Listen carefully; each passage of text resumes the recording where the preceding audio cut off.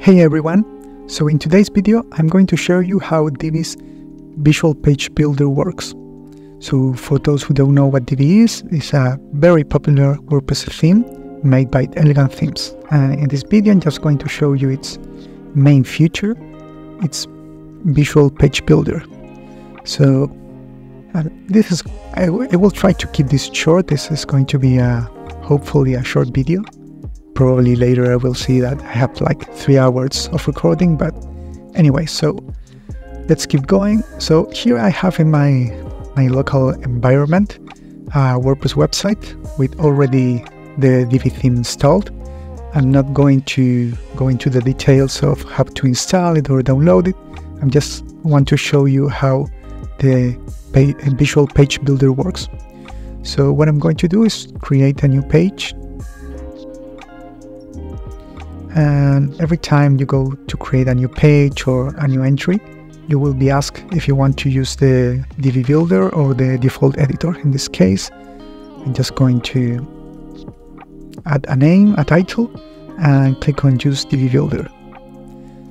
So what is happening here is the site is loading the Visual Builder, and the first time it will ask you if you want to do a tour or you're just going to start building right away. Okay, so next thing, we have these three options, which are very useful in some cases. You can choose uh, build from scratch, so that will give you a, a blank canvas, a blank page. Then you can choose one of the pre-made layouts. One of the main characteristics of the Divi theme is that it comes with, I don't know, hundreds of pre-designed templates that you can import or a third option is that you can clone one of your existing pages. In this case, I'm going to choose build from scratch because what I want to do is show you how this works. So as you can see, uh, the website is already asking us, the, the builder is asking us if we want to insert a row, but let me close this. So the basic structure here is you have this blue blue color uh, boxes. These are sections. So inside each section, you can add rows and you have a one column row, two columns, three columns, etc. As you can see, you have different layouts here. I'm going to add a one column row and inside each row you can add different modules. In this case, modules are like a different type of contents. So as you can see, we have an accordion module, blog module, button module, comments, email opt-ins, uh, text, and of course, different types of contents. So I'm just going to add some a text module. And once you have added your, your module, you will be able to modify the content, the design, and some other other characteristics. So I'm just going to click on Save Changes. So this is the most basic thing. So as you can see, we have one section, uh, one column row, and inside of this row, we have one model. So uh, what if I want to change this to have two columns? You can go to your your row and click on this icon here and change the layout. So in this case, I'm going to change it for a two column row. Now I have one column with the text module and here I'm going to add an image. So I'm going to type here image and there you go. So see, this is incredibly simple. So now we have the section, add two columns row and one text module and one image module. And as you can see, in every element, you have kind of the same options. You can drag and drop them. Then you have this uh, settings icon. Then you can duplicate it. You can save it to the Divi's library, or you can send it to the trash. So, and here in the model I have the same options, and in the row, I have the same same options. Of course, here in the row, I have also the one to change the layout. So it's incredibly simple. As you can see, I can duplicate this image as many as I want. Of course, I can delete them. Incredibly simple. And okay, let me show you now uh, what happens when we go to the settings. So let's go to the section settings.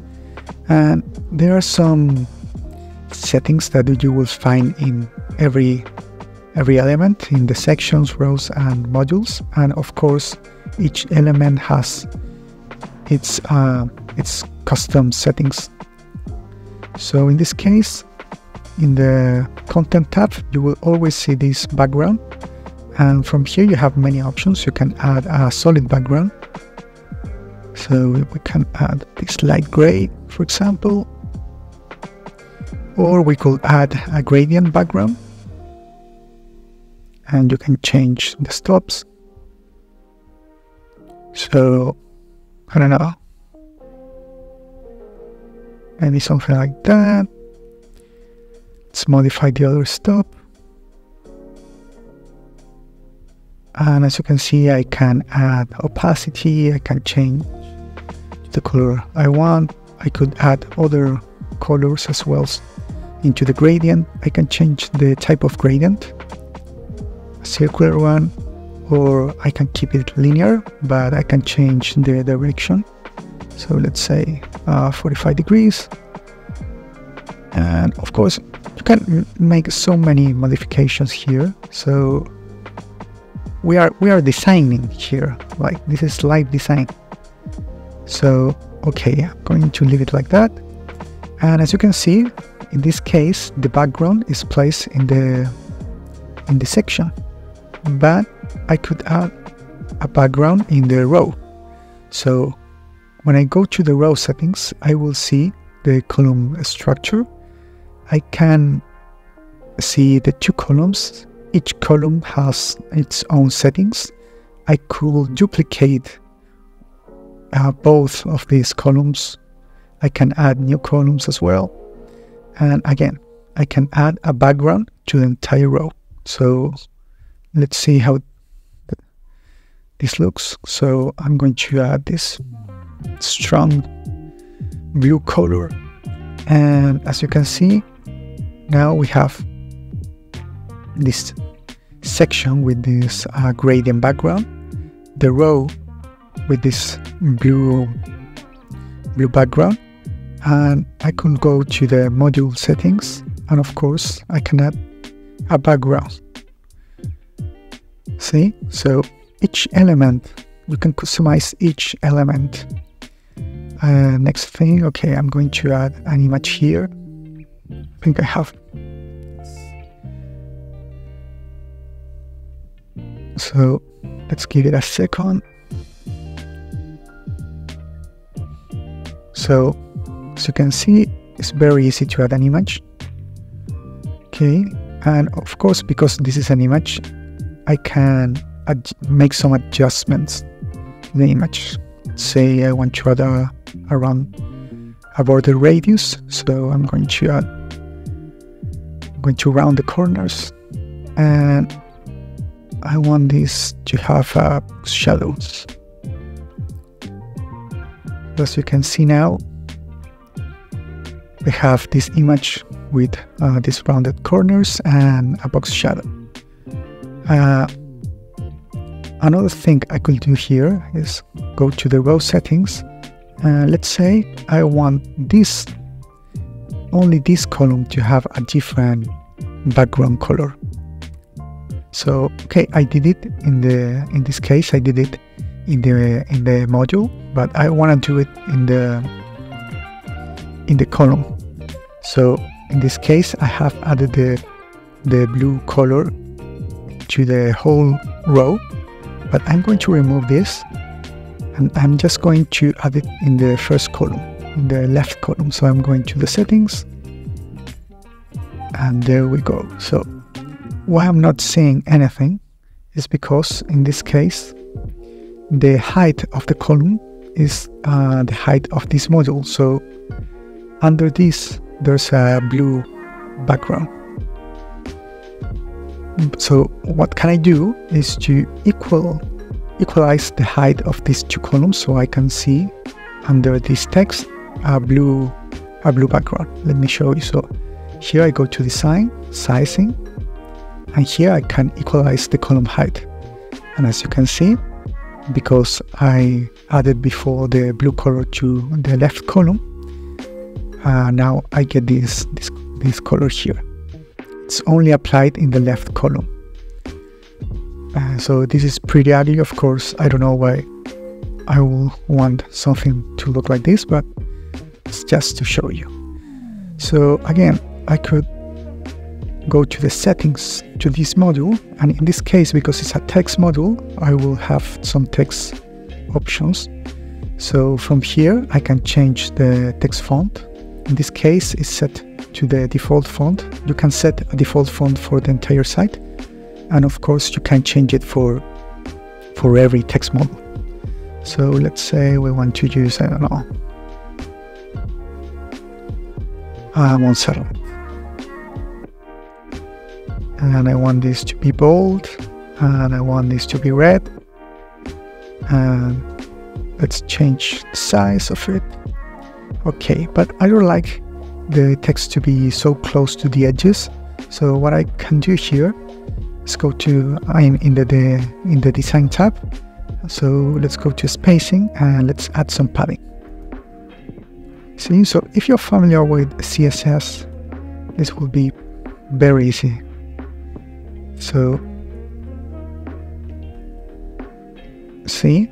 So it's incredibly simple to use well what, uh, what I did here is I press command plus S so I can save it. And of course you have this this button here the circle. You can open it and click on save. And next thing we can do with this visual builder is to uh, see how this will look in different devices. So as you can see, I have this in my desktop view, but you can open it in the in the tablet view or mobile.